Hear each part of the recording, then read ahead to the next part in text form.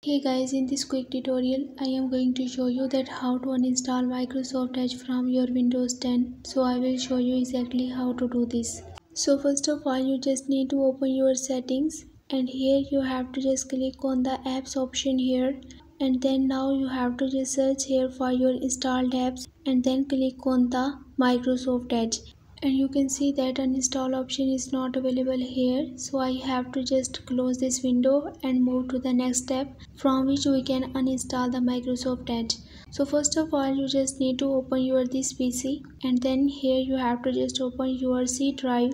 And here open the folder program file x86 and here you have to just find the Microsoft folder and then double click to open it.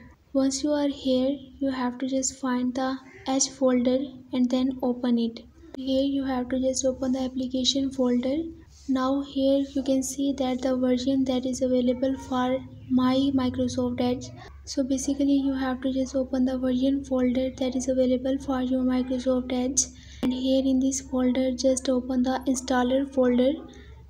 So perfectly you are here. You have to just click on this search bar and then search here for cmd and then hit the enter and now you can see that in this cmd the command is same to the location that has been described in the search bar. So once you are satisfied you have to just put here a specific command that is showing on your screen. So you have to just put the same command in your cmd and then hit the enter and then hit the enter again. After some processing and the allowing permissions your Microsoft Edge will be uninstalled from your Windows 10 successfully. But make sure that you have followed this video step by step.